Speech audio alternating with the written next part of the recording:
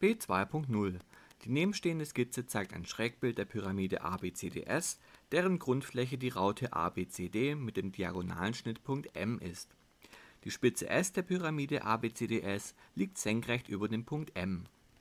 Es gilt AC sind 12, BD 8 und MS 9 cm. Runden Sie im Folgenden auf zwei Stellen nach dem Komma. B2.1 Zeichnen Sie das Schrägbild der Pyramide ABCDS wobei die Strecke AC auf der Schrägbildachse und der Punkt A links vom Punkt C liegen soll. Für die Zeichnung gilt, Verzerrfaktor Q ist 1,5 und Verzerrwinkel Omega ist 45 Grad.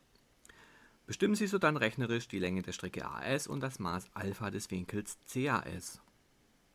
So, wir haben sehr viele Angaben und einfach nochmal von vorne anfangen, um zu überlegen, was man machen soll. Hier ist es als zuerst Zeichne das Schrägbild der Pyramide ABCDS, wobei Strecke AC auf der Schrägbildachse liegt. Ja, also man fängt auch immer mit der Strecke an, die auf der Schrägbildachse liegt. Also hier mit AC und AC sind 12 cm. Immer darauf aufpassen, dass man auch nach oben genug Platz lässt, nicht dass man sonst irgendwo reinzeichnet.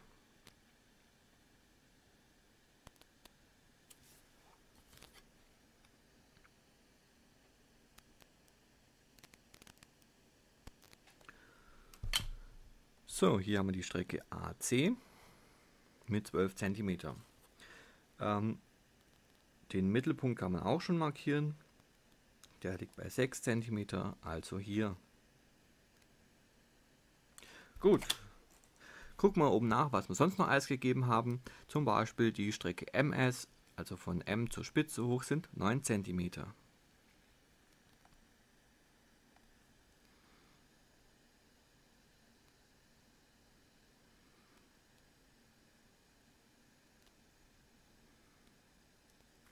So, schnell nochmal nachmessen. Da war jetzt etwas zu hoch.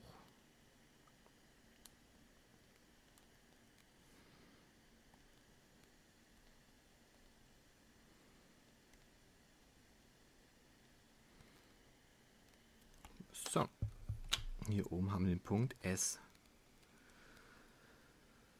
Dann kann man, wenn man schon möchte, die Eckpunkte verbinden.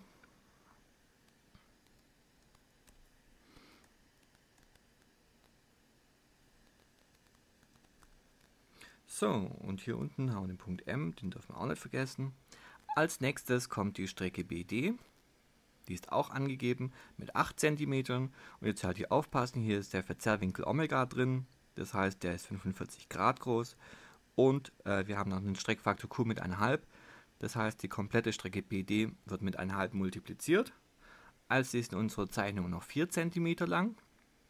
Also vom Mittelaspunkt aus 2 cm nach rechts oben und 2 cm nach links unten.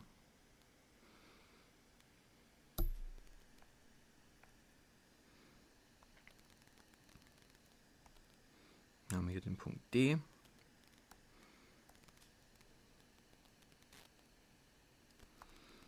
Und hier haben wir den Punkt B. So, jetzt müssen wir noch alle, alle Punkte miteinander verbinden.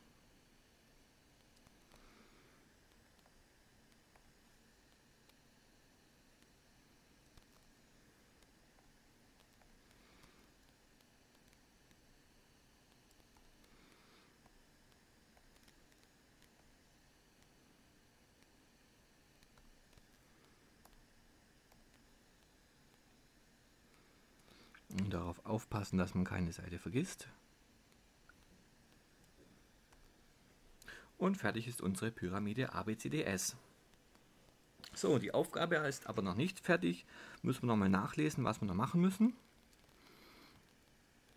Hier ist jetzt bestimmen Sie sodann rechnerisch die Länge der Strecke AS.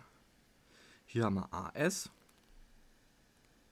Hier wissen wir, ist ein rechter Winkel noch mit drin. Ähm, ich kann jetzt auch in diese Skizze noch meine Größen eintragen, dann muss ich nicht dauernd nach oben scrollen. Also die Strecke MS war 9 cm, die MC, äh, AC waren insgesamt 12 und die BD haben wir gehabt mit 8. Gut, ähm, also AS soll berechnet werden. Geht man vor wie immer, wenn man mit Dreiecken zu tun hat. Äh, erstmal schauen, in welchem Dreieck liegt diese Strecke. Da haben wir hier das Dreieck AMS. Das ist ein rechtwinkliges Dreieck, das heißt, es funktionieren Sinus, Cosinus und Tangens.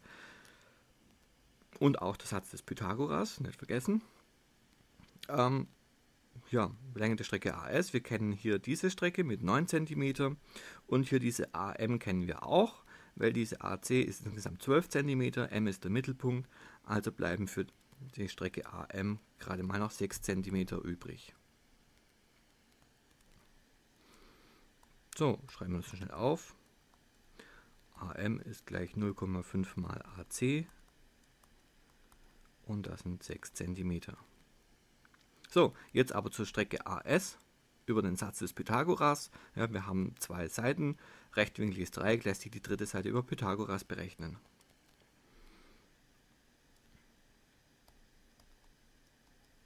Für AS gilt die längste Seite zum Quadrat. Die längste Seite ist in dem Fall schon AS, also AS Quadrat ist gleich kürzeste Seite zum Quadrat plus kürzeste Seite, jetzt brauche ich die ms, kürzeste Seite zum Quadrat. So, um dieses Quadrat aufzulösen, muss ich jetzt noch die Wurzel ziehen und die bekannten Größen einsetzen. Dann folgt daraus, AS ist gleich Wurzel aus AM, waren die 6 cm zum Quadrat, plus MS mit 9 cm zum Quadrat. Tippen wir den Taschenrechner ein und dann erhalten wir eine Länge von 10,82 cm. Wir werden nicht vergessen, auf zwei Nachkommastellen runden für die gesamte Aufgabe, also für das gesamte Arbeitsblatt. So, sind wir schon fertig?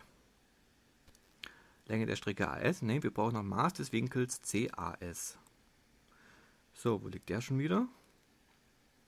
Nämlich gleich hier lila. CAS ist dieser Winkel hier, also von C über A nach S. So, kriegen wir wieder auf die gleiche Art und Weise. Wir schauen wieder, in welchem Dreieck liegt er. Im Dreieck AMS. Was kennen wir von diesem Dreieck? Es ist ein rechtwinkliges Dreieck. Demnach funktionieren Sinus, Cosinus und Tangens.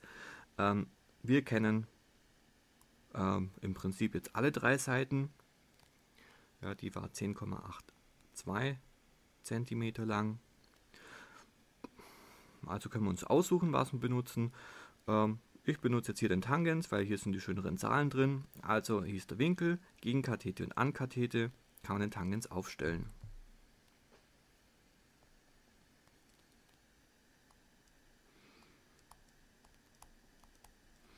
Ich will den Winkel CAS berechnen. Also folgt Tangens von Winkel CAS ist gleich die Gegenkathete, das war die äh, MS und die Ankathete war AM. Setzen wir die bekannten Größen ein. Tangens vom Winkel CAS ist gleich MS mit 9 cm und AM waren 6 cm. So, und um jetzt einen Winkel CAS zu bekommen, brauche ich die Umkehrfunktion vom Tangens. Also Tangens hoch minus 1 von 9 durch 6. Und das können wir in den Taschenrechner eingeben, gibt ein Winkelmaß von 56,31 Grad. So, jetzt war, glaube ich, oben das Teilergebnis angegeben. Haben wir richtig gerechnet? Ja, 56,31 Grad. Können wir hier noch einzeichnen.